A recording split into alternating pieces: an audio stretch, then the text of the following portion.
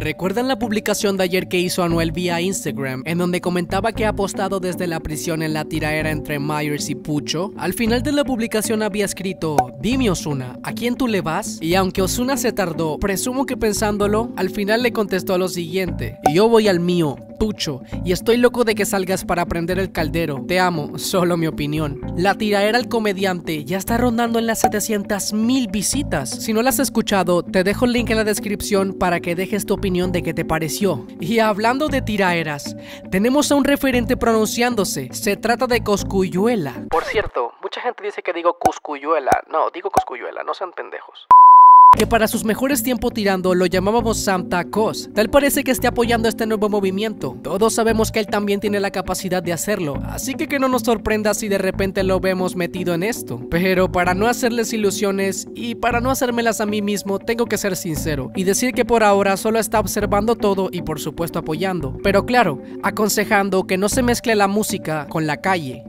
Uy, desactivó la era de la tiraera, Dios me los bendiga.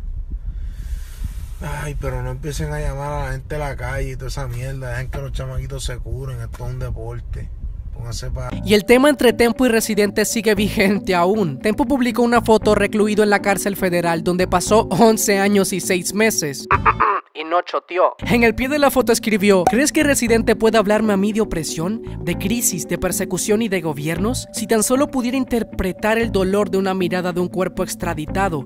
Yo fui perseguido y pagué con mi propia vida por el hecho de defender mis ideales y ser rapero. Por ende tengo todo el derecho del mundo de molestarme cuando alguien quiere boicotear lo que nosotros construimos con lágrimas, sudor y sangre. Te vas a enfrentar por primera vez a un opositor de izquierda que jamás ha tenido miedo a guerrear. No hay enemigos pequeños buenos días. Sorpresivamente, Arcángel comentó en esta foto y con mucho respeto se dirigió a Tempo diciendo, con todo el respeto que siempre te daré maestro. Él no habló del reggaetón en general, yo mismo pensé y me retracté. Habló de la música en general, también se refirió a artistas que han tenido que hacer reggaetón para poder alcanzar posiciones en lista. No sé, en mi caso no me importa lo que pueda decir de mi música, pues yo no pago mis biles con su opinión. Si él no respeta mi música, bomba, yo seguiré respetando la suya, ya que con la misma también he representado bastante a Puerto Rico. Mi humilde opinión, no le des tanta mente algo que no te paga los piles. Bendiciones, maestro. Usted sabe mucho y mucho más que eso. A lo que Tempo contesta, Arcángel, mis respetos, varón, siempre. Pero yo no estoy hablando de esa vuelta de billboards, pues cada vez que tiene la oportunidad nos tira fango.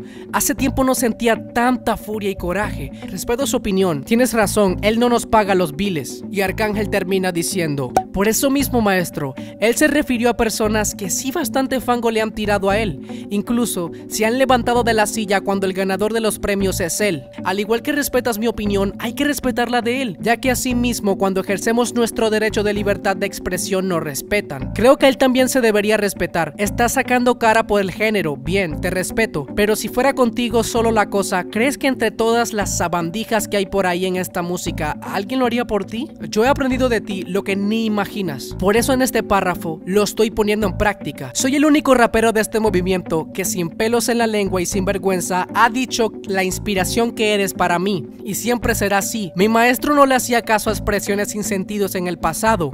¿Ahora por qué?